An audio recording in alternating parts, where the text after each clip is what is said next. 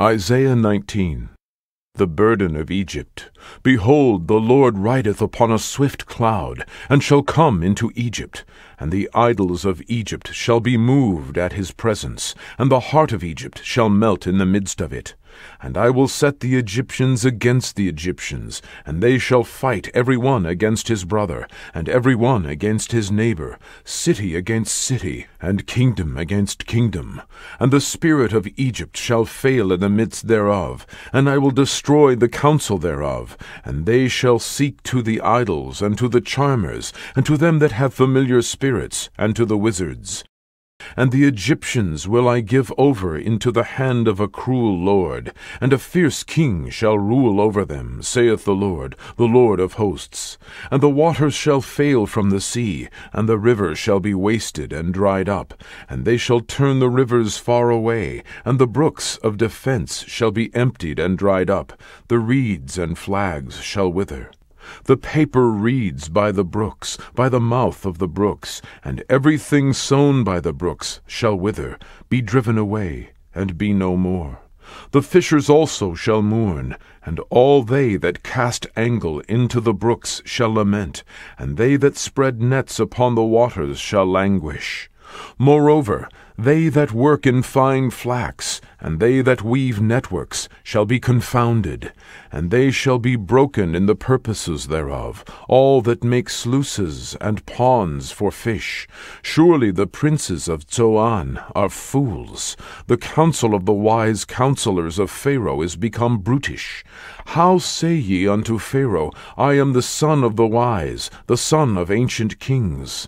Where are they? Where are thy wise men? And let them tell thee now, and let them know what the Lord of hosts hath purposed upon Egypt.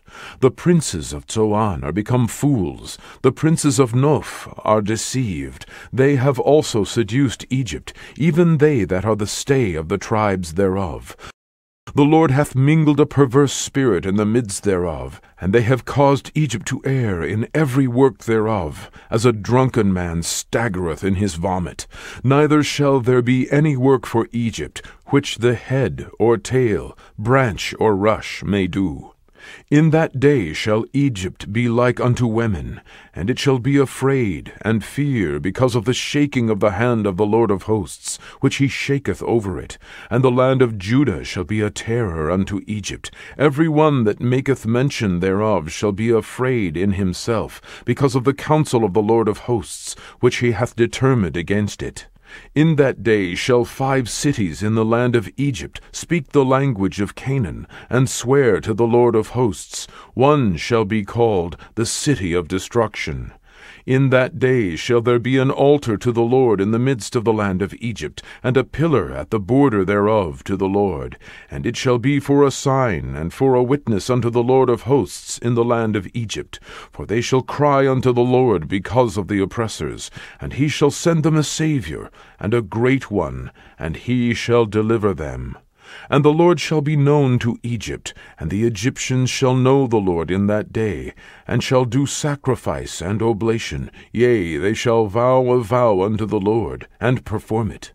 And the Lord shall smite Egypt, he shall smite and heal it, and they shall return even to the Lord, and he shall be entreated of them, and shall heal them. In that day shall there be a highway out of Egypt to Assyria, and the Assyrian shall come into Egypt, and the Egyptian into Assyria, and the Egyptians shall serve with the Assyrians. In that day shall Israel be the third with Egypt and with Assyria, even a blessing in the midst of the land, whom the Lord of hosts shall bless, saying, Blessed be Egypt my people, and Assyria the work of my hands, and Israel mine inheritance.